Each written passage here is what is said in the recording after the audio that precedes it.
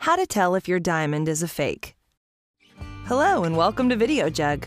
Okay, so you finally have the engagement ring of your dreams. It's perfect.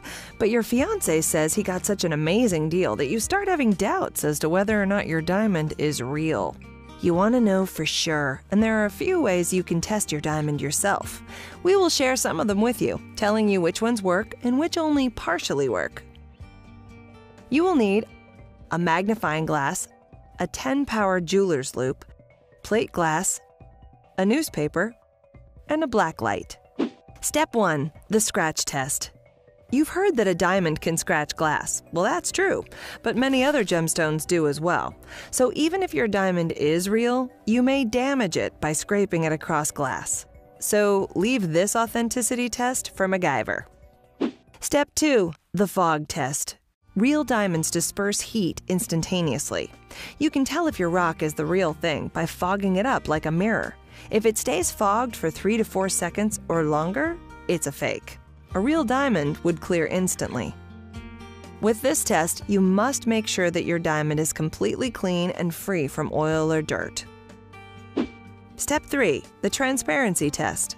This do it yourself test only works if your diamond is loose. After first making sure it is clean, place your unmounted diamond on top of newsprint with the pointy side, the pavilion, facing up. If you can read the newsprint clearly through the stone, then your diamond is a fake, probably a cubic zirconium or CZ. Genuine diamonds scatter light as it passes through them, making the newsprint look a little blurry. Step 4 The Inclusion Test. All fake diamonds have one thing in common none have any inclusions or internal blemishes. So, if you didn't pay an arm and a leg for your diamond, yet it has perfect clarity, chances are you have a fake. Step 5 The Black Light Test.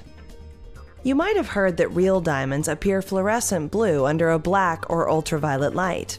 Well, almost. Only about one third of all diamonds will look fluorescent blue. 99% of fakes don't look blue.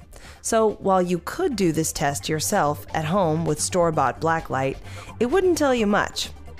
Don't bank on the blacklight test. Step 6 Detecting Treated Diamonds. Some real diamonds have flaws, flaws that jewelers fix by injecting liquid silicone into the stone.